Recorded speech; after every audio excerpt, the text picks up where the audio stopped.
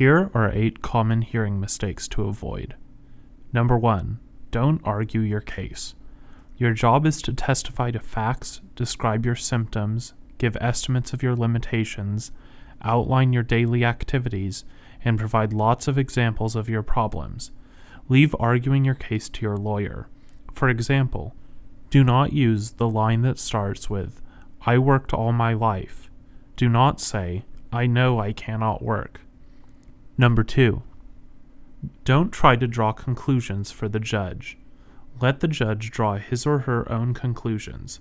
Do not make comments such as, If I could work, I would be working, or I want to work.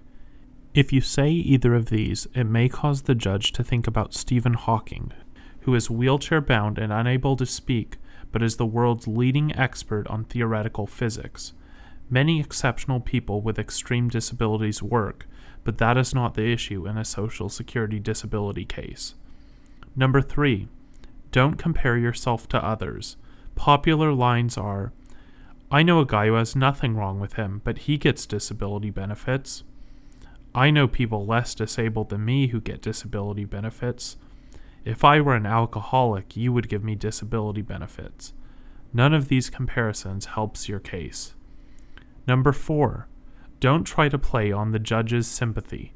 It won't help. It might backfire. Judges have heard it all your financial situation, the fact that the bank is going to foreclose on your house, and so forth are not relevant. Number five, don't try to demonstrate what a good person you are. Benefits are not awarded to the virtuous, they are awarded to the disabled.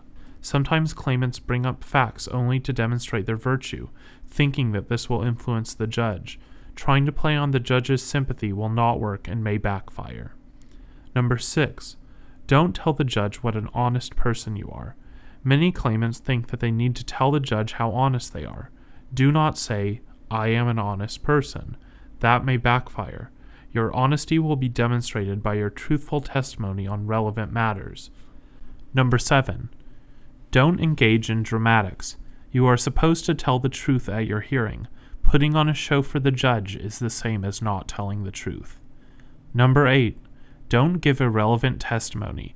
The judge cannot and will not consider these facts in deciding your case, so do not waste time talking about them. Your inability to get work the lack of work in your local area, hiring practices of employers, technological changes in the industry in which you have worked, cyclical economic conditions, the lack of job openings, the fact that you would not actually be hired for a job, and the fact that you do not wish to work at a particular job.